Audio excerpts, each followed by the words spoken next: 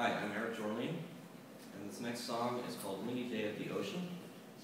I wrote this not too far from here, actually, at a couple different solo camping trips up at Point Reyes.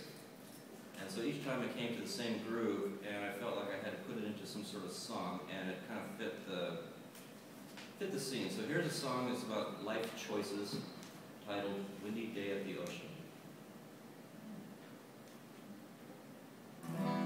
Windy day at the ocean, I gazed out at my options and puzzled over my next piece.